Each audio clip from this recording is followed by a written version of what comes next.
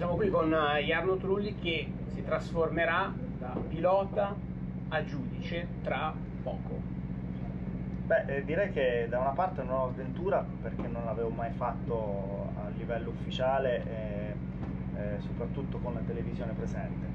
Però eh, devo dire che in passato da papà e da coach mi, mi, sono già cimentato in queste cose visto che ho aiutato Enzo nella, nella sua breve parte iniziale di, di carriera. Questo sicuramente è un progetto ambizioso, come detto ehm,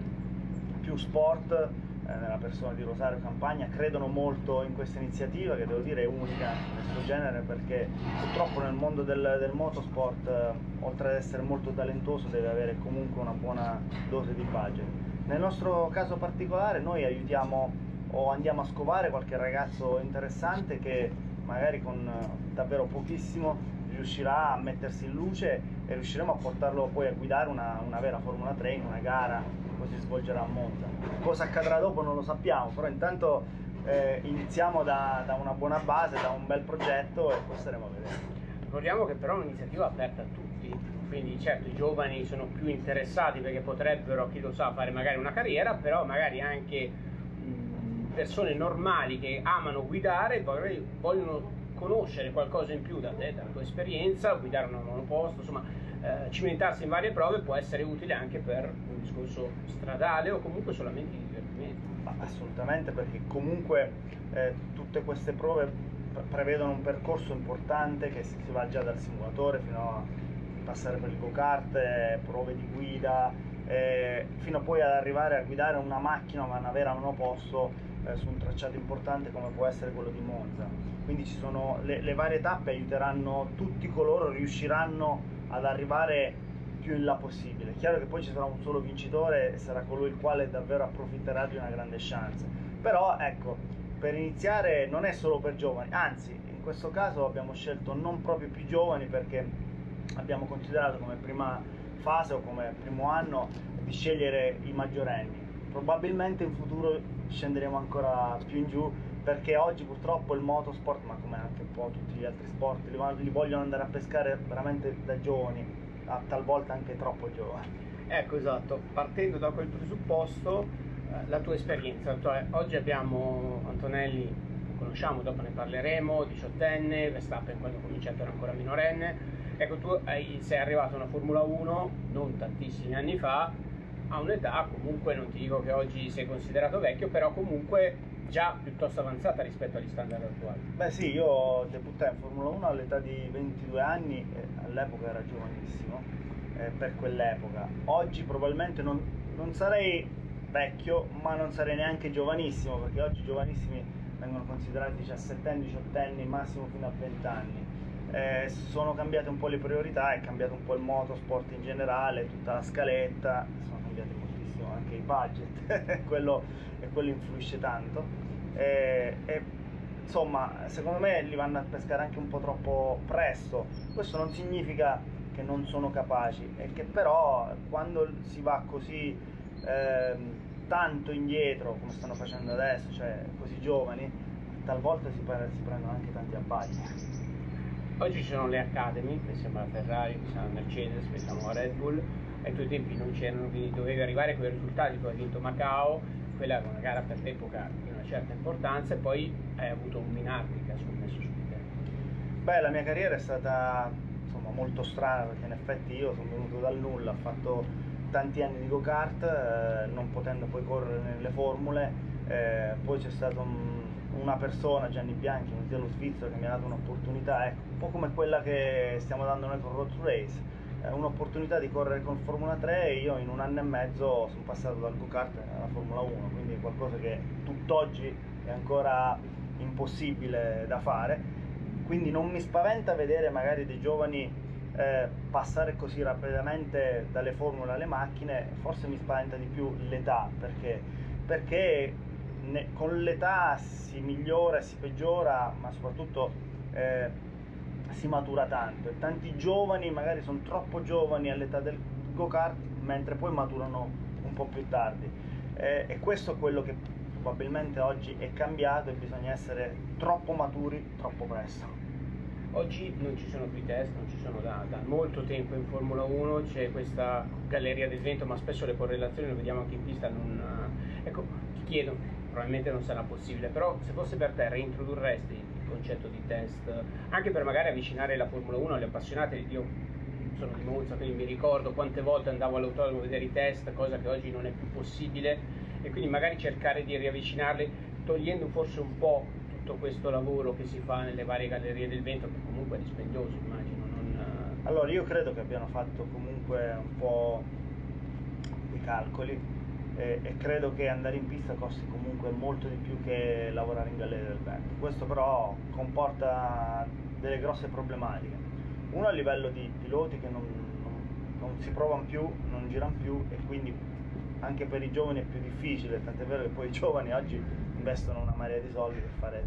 tut- tutta una serie di test chilometri, eh, ma davvero tantissimi nelle categorie minori, cosa che prima non esisteva.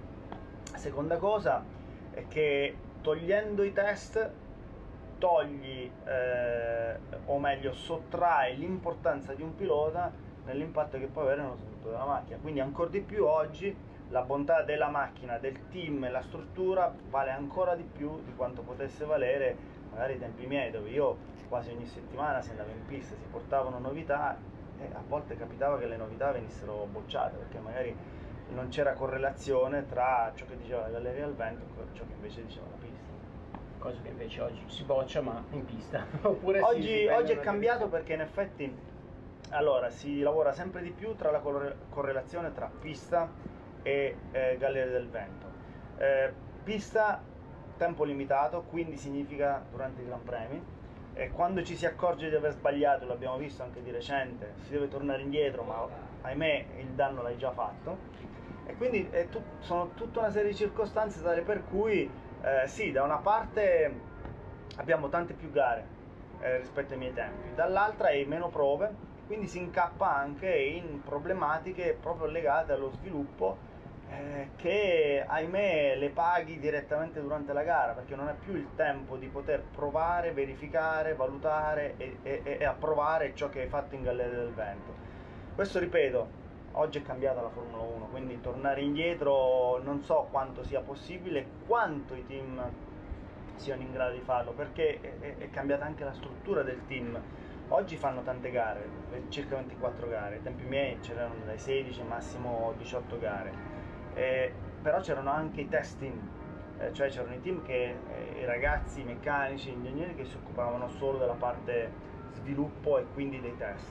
Oggi questo non c'è, però dall'altra parte vedo che i meccanici fanno un grandissimo lavoro, eh, a volte anche un po' tirato, nell'affrontare delle gare che sono magari due, tre, quattro gare una dietro l'altra. Questo è molto duro per tutta l'organizzazione del team, ma soprattutto anche per coloro i quali lavorano eh, tutte le settimane un, in uno sport dove credetemi non c'è un orario come si va in ufficio, a volte si lavora anche 14-15 ore al giorno e quindi farlo ripetutamente per 3-4 settimane non è facile e in più comporta anche dei problemi a mio avviso di sicurezza. Quindi ti chiedo, la domanda mi viene spontanea, quasi da boomer se vogliamo,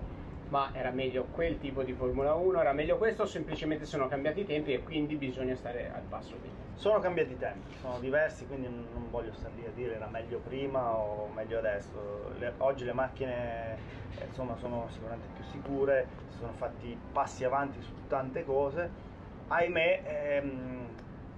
su altre cose invece veniamo meno, uno ai test, meno chilometri per, per i piloti, soprattutto riesci eh, non riesci a valutare i giovani piloti perché fai, fai, pochi chilometri durante i test, non hai test a disposizione e quindi devono fare chi se lo può permettere con i piloti giovani, lo fanno con le macchine vecchie, fanno tutt'altra roba ma che prima non esisteva, lo facevi direttamente con le macchine nuove. Sviluppo delle macchine, oggi sempre di più la macchina sviluppata CFD e Galleria del Vento significa che sempre di più eh, ha voce in capitolo la bontà dell'ingegnere, la bontà del team, la bontà della macchina. Il pilota praticamente gli tocca solo guidare quando si va in pista e gli si presenta la macchina. Lo sviluppo del pilota sulla macchina c'è sempre meno. Eh, sono tante cose che sono andate da una parte bene e dall'altra peggio, però eh, questa è una nuova generazione, non appartiene a me, eh, quindi non, non, sto qui a dire è meglio e peggio, ci sono sicuramente degli aspetti positivi, tante più gare, magari alla gente, alla gente piace vedere tante più gare in Formula 1, degli aspetti negativi dove ecco, non ci sono più test, non c'è la possibilità di, di fare sviluppo con il pilota, eh, insomma, eh, però devo dire che dall'altra parte io credo che i team oggi più o meno eh, stiano più o meno tutti bene a livello economico. Ai tempi miei c'erano diciamo, un, un buon blocco di team ufficiali costruttori e poi c'erano quei due o tre team che lottavano sempre per la sovra- sopravvivenza. Oggi questo non c'è più perché eh, tra FOM e FIA hanno dato uh, la possibilità a tutti i team di poter uh, affrontare una stagione economicamente senza avere grossi pensieri. Questo forse anche grazie al budget cap. Però budget cap è un altro tema perché io non so veramente fin dove si riesca davvero ad arginare e a controllare soprattutto perché vediamo che i grandi team rimangono sempre grandi e questo secondo me non è solo un aspetto tecnico ma è anche legato molto probabilmente all'aspetto economico. Ecco, tornando alla tua carriera, tu hai vinto Monaco che dicono mm, sia equivalente di vincere un mondiale, però ti chiedo, avendo corso comunque con team ufficiali la Renault la Toyota, c'è qualche rimpianto eh, di non aver magari conseguito qualche risultato in più? Ma eh, purtroppo sì, ma nella vita non si può avere tutto e soprattutto quando fai questo mestiere bisogna essere al posto giusto nel momento giusto, cosa che sfortunatamente almeno nel, nel, nel, in Formula 1 non mi è capitata. È già stata una, una, grande cosa per me poter approdare in Formula 1, perché ricordo io vengo da una eh, umile famiglia che faceva già fatica a farmi correre in go-kart, figuriamoci poi pensare, poter pensare di poter arrivare in Formula 1 è stato un vero e proprio caso, molta fortuna, ce l'ho fatta, eh, però poi una volta lì non sono mai stato al posto giusto nel momento giusto perché eh, se ricordiamo il 2004 me la giocavo con Alonso, ho vinto il Gran Premio a Monte Carlo, poi sono dovuto andare via e dal 2005 al 2006 la Renault è diventata campione del mondo con una macchina competitiva, io invece ero in Toyota dove abbiamo fatto un, un, ottimo inizio e poi ci siamo un po' persi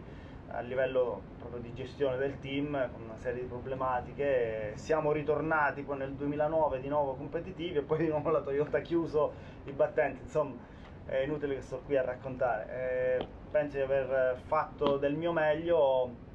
Eh, rimpianti solo il fatto di non aver potuto lottare sempre ad armi pari con gli altri, o almeno l'unico con il quale me, potevo, me la potevo giocare ad armi pari è il mio compagno di squadra, quello era il mio unico riferimento. Mai avuto contatti con la Ferrari? No, a dire la verità no, perché io ricordo a tutti che ho vissuto l'epoca di Schumacher, eh, quindi infatti, insomma, c'era un pilota di riferimento in una scuderia grande che comunque ha fatto la storia e non credo che Jarno Trulli o che la Ferrari avesse bisogno di Jarno Trulli in quel particolare periodo, probabilmente ne avrebbe avuto bisogno subito dopo, ma subito dopo, ahimè, anche io mi sono fermato perché comunque ero andato avanti con l'età. Tu hai vissuto in pieno l'era Schumacher e hai vissuto l'era iniziale di Lewis Hamilton, ecco, al di là del paragone che ti posso chiedere, eh, però sono stati i due grandi diciamo, della Formula 1 degli ultimi vent'anni e Verstappen però mi pare che sia subito lì. Questi io... tre o, o, magari ci inserisce Ma... anche qualche altro?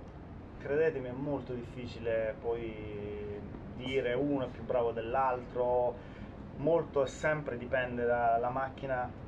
e il team in cui ti trovi in quell'epoca, perché anche lo stesso Akinen ha vinto dei mondiali, ha dominato finché la McLaren ha dominato. E così è stato anche per Schumacher. Eh, Schumacher ha vinto dei mondiali quando era in Veneto, è passato in Ferrari e ci ha messo 5 anni per poter portare una scuderia a poter vincere e poi a dominare per lungo tempo. Così è stato per la Red Bull di Vettel.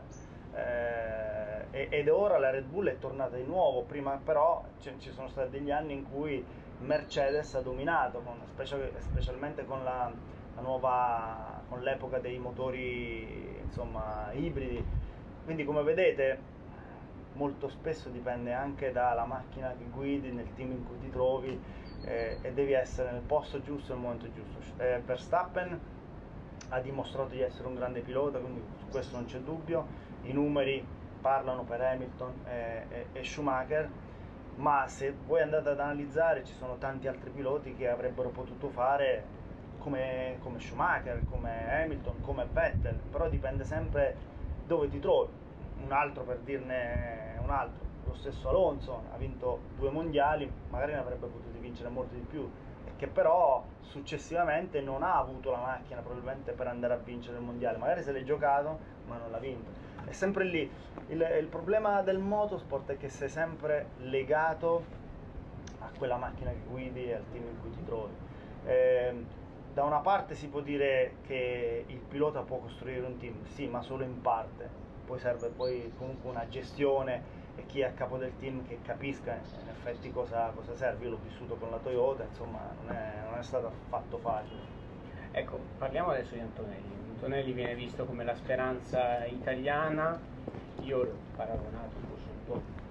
spero che per lui che, che sia così, ma all'impatto che ha avuto Sinner con il tennis, no, Sinner ha vinto ieri lo Open, ricordiamo, quindi ehm, ecco tu pensi che lui possa davvero rappresentare questo tipo di, di fenomeno per noi in Italia che sarebbe anche una cosa totalmente eh, nuova, cioè la Ferrari contro un pilota italiano, ricordiamo che correrà contro una delle concorrenti principali. È proprio lì il, il discorso. Eh, Antonelli che comunque nelle categorie minori ha dimostrato di andare forte, entra dalla porta principale. Questo significa che per noi italiani abbiamo la possibilità finalmente di avere un pilota che eh, guidi una macchina competitiva. Poi cosa saprà fare lo vedremo in Formula 1, ora è troppo presto per dirlo, però le speranze sono tante. Eh, come lo è stato per Hamilton entrare in, in McLaren quando fu, era, era entrato porta, dalla porta principale. Ehm, è vero che è molto giovane, però dall'altra parte è anche vero che oggi, i ragazzi di oggi, se seguiamo la carriera di,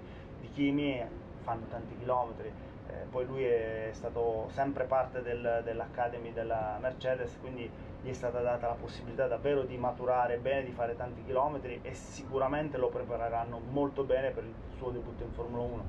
Poi staremo a vedere, lo potremo solamente giudicare una volta che sarà lì, però io credo che se l'è meritato e credo sinceramente che possa fare un buon lavoro. Penso anche da te possa essere questo il consiglio è eh,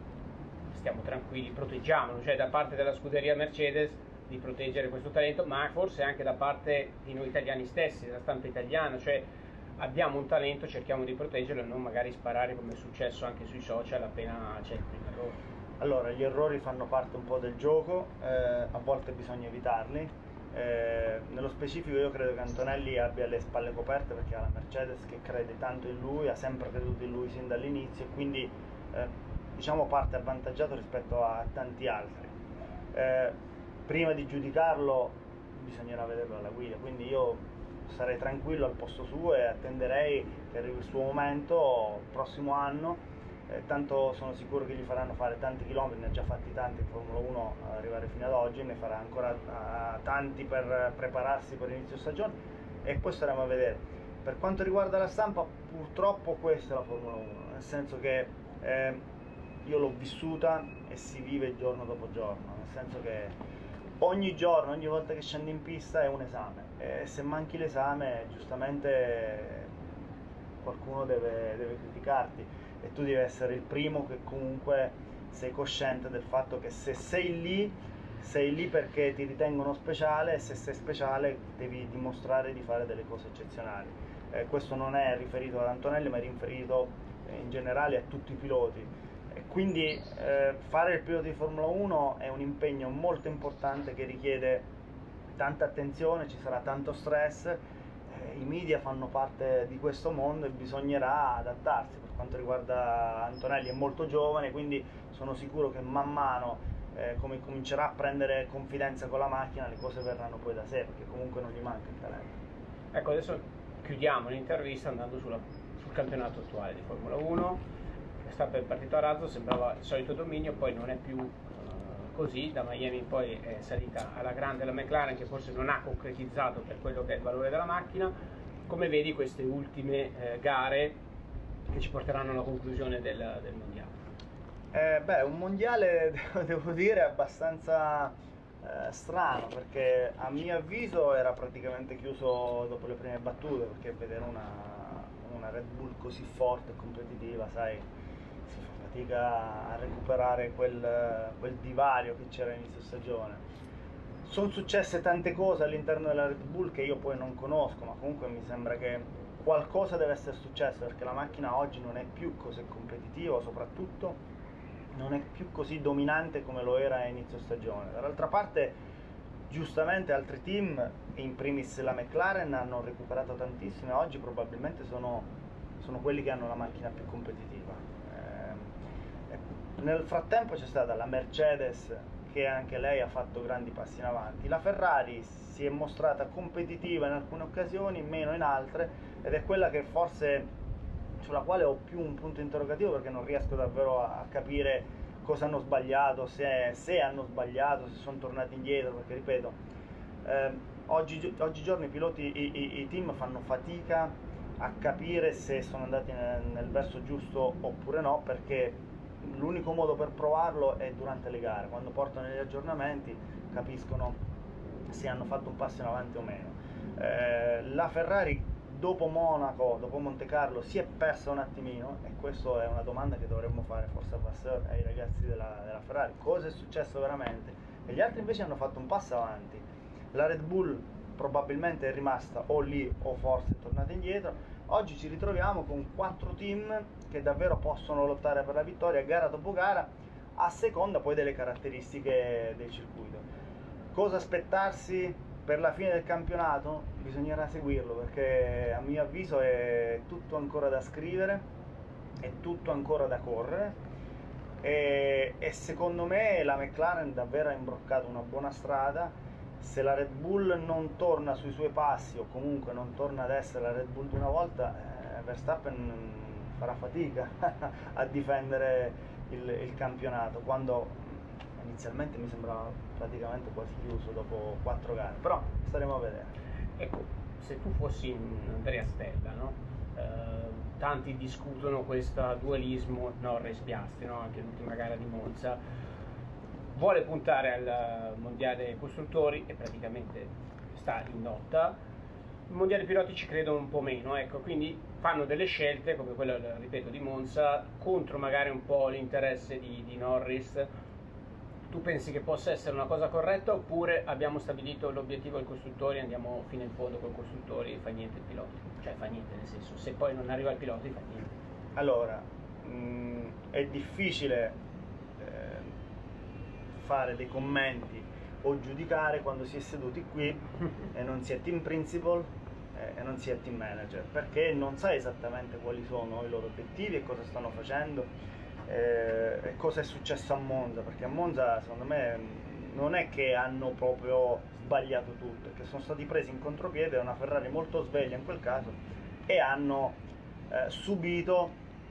un KO che non si aspettavano, che a mio avviso dovevano finire prima e secondi, ma la Ferrari sono stati in quel caso più svegli, più bravi a interpretare e a leggere la gara nelle strategie. A parte quello, ehm, per quanto riguarda gestione piloti non è facile, è il team che decide, il team che comanda, lo è stato sempre di più negli anni a venire, perché alla fine sono dei piloti professionisti, sono come dei dipendenti, quindi devono un po' seguire quelle che sono le direttive eh, di un team, di un brand, come in questo caso possa essere la McLaren o possa essere la Ferrari o la Mercedes.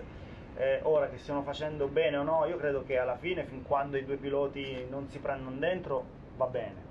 Eh, che vinca uno, vinca l'altro, eh, ma che arrivino entrambi in fondo e là davanti fa bene al team. Per il titolo piloti eh, probabilmente o non ci credono eh, oppure decideranno negli ultimi 4 Gran Premi, 5 Gran Premi, non lo so, ora è difficile dire perché ripeto, eh, non sappiamo quali sono le strategie interne da parte del team, come vedono loro la fine della stagione. Eh, di certo è che però oggi la McLaren è riconosciuta come probabilmente la macchina più veloce, quindi eh, al momento sono contenti dei risultati che stanno arrivando, eh, sì, avrebbero potuto vincere una gara in più, sì, ma magari avrebbero potuto vincere anche qualcuno in meno, dipende eh, da come vediamo le cose, quindi staremo a vedere. Grazie mille Jarno, l'appuntamento è in pista con te, giusto? Assolutamente, tra l'altro La prima data? Tra poco, arriviamo ad ottobre, siamo tutti in pista e iniziamo questo nuovo progetto, questa nuova avventura. Sito internet di riferimento? È Road to Race. Quindi andate lì, potete scegliere eh, cosa, cioè scegliere, potete iscrivervi e partecipare a questa straordinaria avventura e chi lo sa, magari diventare veramente piloti per un giorno.